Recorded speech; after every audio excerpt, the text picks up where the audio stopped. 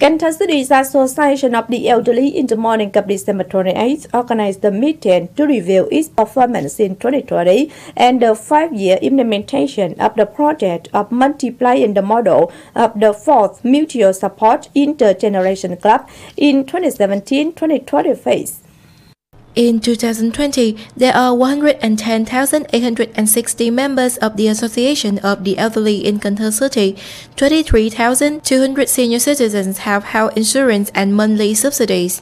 128 senior citizens are taken care of all levels of the city's Association of the Elderly have free medical checkups and medicine distribution for 9,250 elderly people, built and repaired 72 Great Solidarity houses, granted over 30 billion Vietnam dong of loans to over 7,000 households of elderly people. Over 35,700 elderly people directly participated in production, with over 8,500 elderly people doing good business. The whole city has 867 clubs with nearly 5,200 elderly members. In 2021, all levels of the city's Association of the Elderly shall focus on carrying out the core mission, which include boosting the mobilization task for funds from the society to take care of the elderly on special occasions. There are 70 intergeneration multiple support clubs in the city, helping members escape poverty.